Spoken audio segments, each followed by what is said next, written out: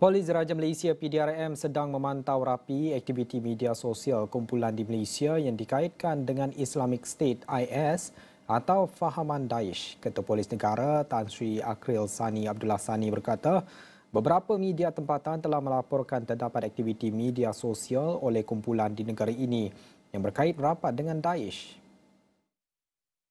Katanya dalam kenyataan pada Ahad, laporan media didapati berasaskan maklumat yang diperolehi daripada Nordic Counter-Terrorism Network dari Finland.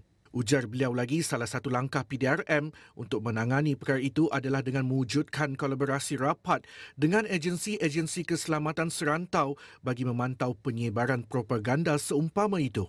Akril Sani menambah langkah itu adalah bagi memastikan tindakan dapat diambil ke atas pihak-pihak yang dikenal pasti terlibat Jelasnya peranan serta pemantauan aktif telah ditingkatkan bagi memastikan tahap ancaman keselamatan terjamin.